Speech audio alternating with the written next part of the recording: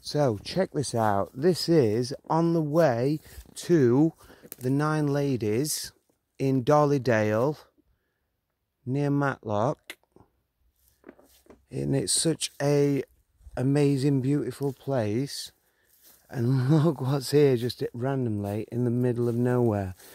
Look at the size of these blocks, stone, cut, cut blocks, yes. So these aren't naturally occurring obviously.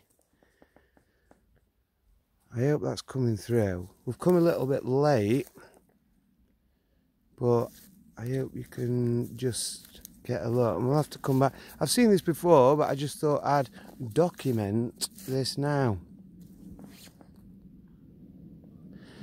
And we were told, remember, that these were all made, these all these stone wheels stone round things were used for, I mean, look at shape of that. These were all used for milling flour. Milling flour and seeds. Hmm, not quite sure I believe that one. So, if anyone's got any comments on this, please let us know. Show you the size of these. Like, look at that. Just, and this is in the middle of nowhere. Like, everywhere around us.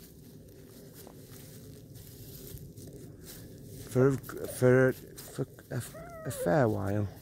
Have a look on Nine Ladies map, Darley Dale, Matlock, UK. And you'll have a look. So, love y'all.